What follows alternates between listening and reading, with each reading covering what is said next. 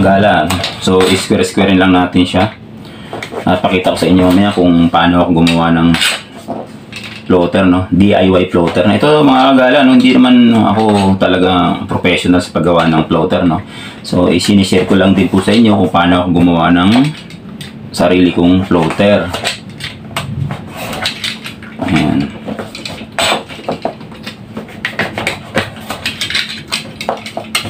Ayan, sa mga gala. Pagkapatong-patungin natin ito mamaya mga kagala, no? Etong nagawa ko. So, ganyan na siya, no? Magiging ganyan siya kahaba mamaya. Ganyan. Pagdidikitin ko siya, mga gala, no? Tutuhugin ko siya nito, mga kagala, no? Isang ah, shafting o isang shaft, no? Baka na matulis. Pag tinuhog siya mamaya, tsaka ko siya pagdidikit-dikitin, ano? So, ang gagawin natin ngayon, no? Didikit-dikit na natin siya, mga gala.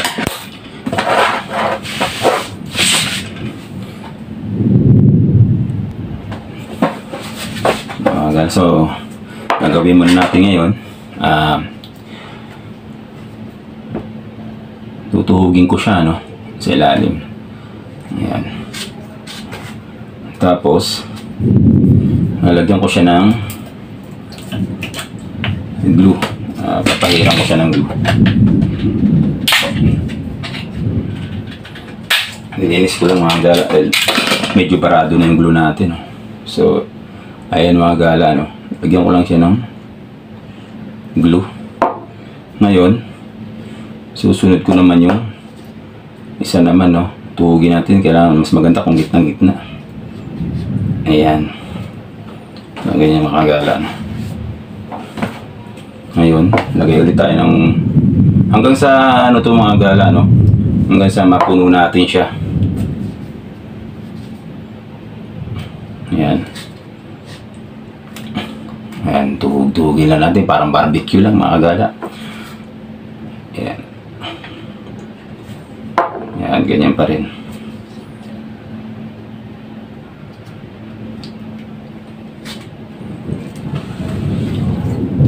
Gala. So, i-compress lang natin siya ng ganyan para medyo talagang medyo talagang kapit na kapit siya. No?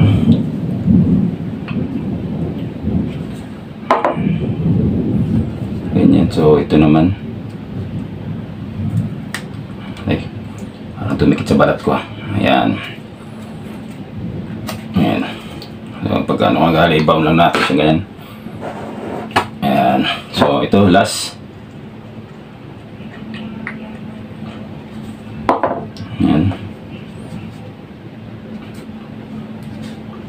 Ayan. So, ayan mga gala, no? Ayan. Tapos siya. So, pag nadikit-dikit na natin yung mga gala, ah, saka natin siya, babawasan siya, no? Hahasain natin siya dun sa bench grinder na, sa akin, nakapwesto dun sa labas. So, ayan, nakadikit na siya mga gala. So, natin standby. So, punta na tayo ngayon sa bench grinder, mga kagala, no?